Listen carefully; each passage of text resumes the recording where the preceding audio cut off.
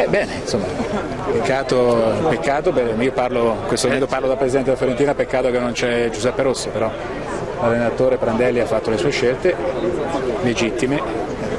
C'è stato Ragazzo. un po' d'amarezza però in questa storia. Ma no, insomma, eh, no, non ci sono polemiche assolutamente, bisogna rispettare queste decisioni, soprattutto quelle di Prandelli. Il ragazzo da parte nostra, insomma, il ragazzo era pronto, però le scelte tecniche sono scelte tecniche, quindi lungi da me fare qualsiasi tipo di, di critica. Ha avuto modo di sentire il ragazzo insomma, dopo la decisione di Sì. Prandelli, anche perché insomma, anche nei suoi tweet, nei suoi tweet l'abbiamo sentito un po' sì, amareggiato, un po' polemico, Eh beh, non, da, non da Giuseppe Rossi di solito. Beh, ragazzo giovane, ragazzo, sai, due mesi che si stava preparando a questa cosa, onestamente le ultime partite che abbiamo visto anche con noi, guarda caso, giocava e le abbiamo vinte o ha fatto segnare, insomma, per quello che riguarda me posso capire la sua amarezza, poi qualche parola di troppo magari si è detta, però adesso bisogna pensare alla nazionale.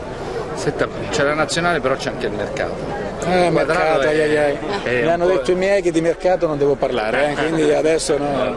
No, no, sono momenti delicati, adesso stiamo cercando di prendercelo tutto quadrato e poi quello che cercherò è di trattenerlo a Firenze. Ci sono possibilità, insomma, Sono- verrà riscattato.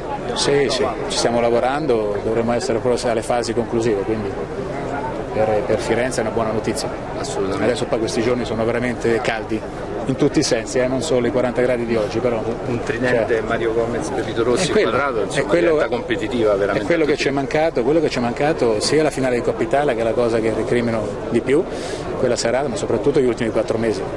Se pensate siamo arrivati quarti, eh, così insomma in- da febbraio non abbiamo mai giocato con Gomez, va bene, ma Rossi e Quadrato l'ultimo mese, quindi questa è una Fiorentina che da- per il futuro sono più che un ottimista, sono strafiducioso, poi qualche innesto ci sarà, ma insomma il mercato è lungo.